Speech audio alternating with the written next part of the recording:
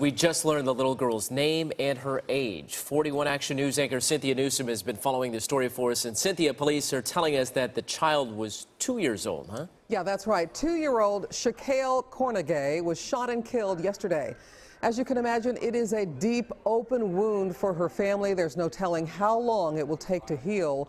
The details are simple and sad. This is where Shakale lived, 27th and Lawn in Kansas City, and this is where she was shot. The two-year-old girl was there yesterday with her dad and three-year-old brother. Now, the dad told police he was asleep and the gunfire woke him up. He found his daughter dead. The little girl's grandmother told us she is devastated that her granddaughter is gone. She's also worried about her son, the child's father.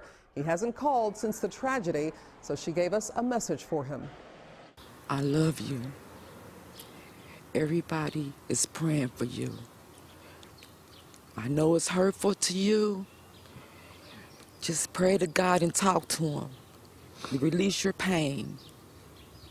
Hopefully, I'll be able to see you again. Now, police are still questioning relatives and witnesses and looking at evidence to figure out exactly who pulled the trigger. Cynthia Newsome, 41 Action News.